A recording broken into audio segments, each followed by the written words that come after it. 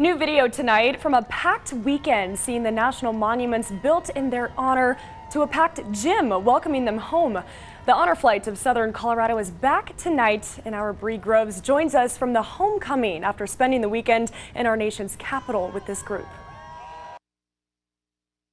These heroes now bonded forever through the honor flight, getting the welcome home they have long deserved.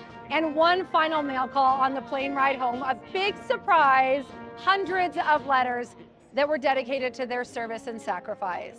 We're going to rectify that today. We have mail call for every one of you.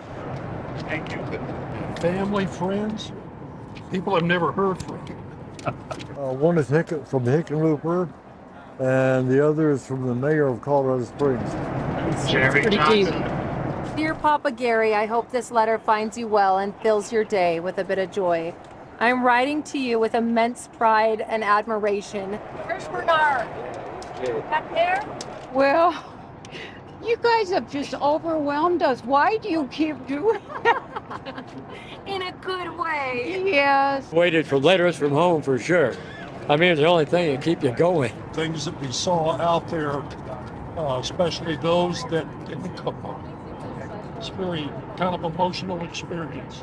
Without you, our country would be a very different place. And I look forward to hearing all about your journey and seeing the joy and the pride that it brings to you.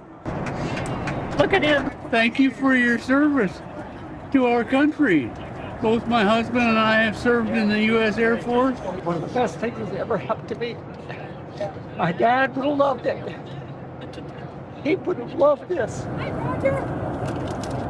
Cherry on top of the screen. Oh, oh, you bet. And what a privilege it has been of mine to help document this trip for these heroes. And we have so many more stories to come. But for now, we are back in Colorado Springs with Mission 19. I'm Bree Groves for News 5. All right, Bree, thank you. You can catch all the coverage from this flight and past honor flights at our website at koaa.com.